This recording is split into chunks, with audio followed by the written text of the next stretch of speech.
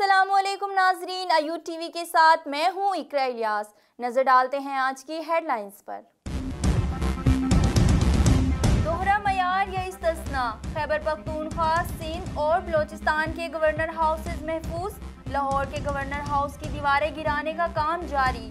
Governor house کی چار دیواری گرانے کا اقدام۔ لاہور ہائی کورٹ میں چیلنج۔ وزیر اعظم کے حکم پر عمل درآمد روکنے کی استدا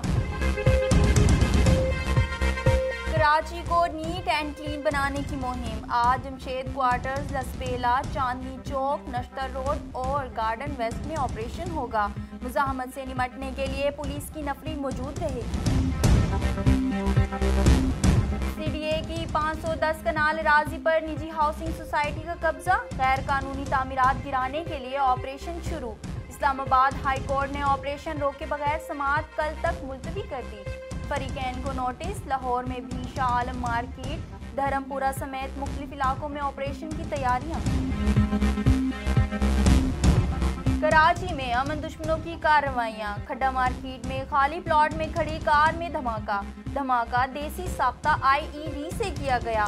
آٹھ سے دس کلو گرام بارودی مواد استعمال کیا گیا۔ ڈی آئی جی ساؤتھ کی تصدیق۔ کہتے ہیں گاڑی کوارٹر سے چھینی گئی تھی۔ ملوث افراد تک جلد پہنچ جائیں گے۔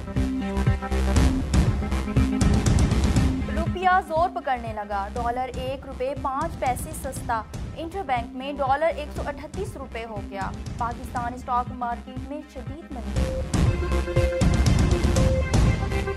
خیبر پختونخوا میں کس چیز پر بلند و بانگ دعوے کرتے رہے ہیں؟ پشاور کے دماغی اسپتال کی حالت اب بھی خراب ہے۔ چیف جسٹس کے ریمارک انسانوں کو جانوروں کی طرح باندھ کر رکھا جاتا ہے۔ کسی کو احساس نہیں۔ چیف جسٹس نے اسپتالوں سے متعلق جامع رپورٹ طلب کر اورنج ٹرین منصوبے پر تنازعات ختم کرانے کے لیے سالس کی تجویز منظور۔ ٹی او آرز آج ہی بنوا لیں تاکہ سالس کو بھجوائے جا سکیں۔ منصوبہ مقررہ مدت میں مکمل ہونا چاہیے۔ چیف جسٹس کے ریمارک۔ ڈالر کی اڑان سے منصوبے کی لاگت دو کھرب چوبیس ارب سے بھی تجاوز کر گئی۔